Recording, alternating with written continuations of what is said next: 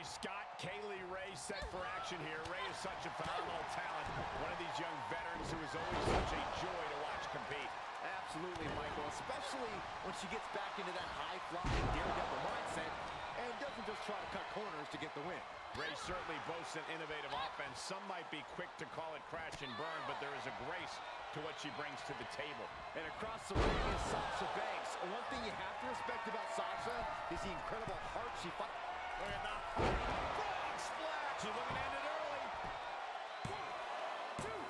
Slow to get her shoulder up. She's got to be upset that the count went that far. Ooh, she just turned it around. Quick exchange of counters there.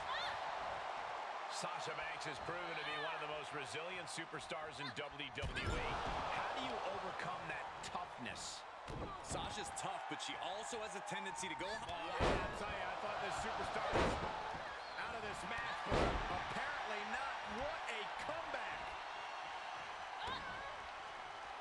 Hey, Byron, just like you.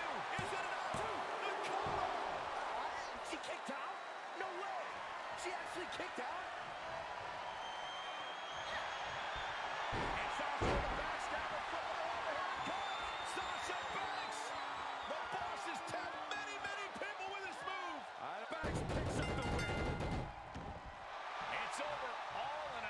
Work.